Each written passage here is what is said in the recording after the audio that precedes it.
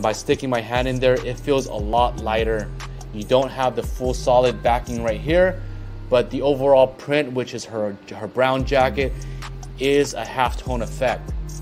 So this is really, really a nice solid design, retail quality, and there's a special effect to this. Not everybody can do this effect with a black knockout. So when you have customers that are touching this with their hands, they're gonna just gonna feel how soft it is. And this is like a leather type jacket that she's wearing, so it is perfect. It holds all the little tiny details. It is more solid on the edges right here where it is full, but it creates depth and it creates a texture to this. So this is really nice.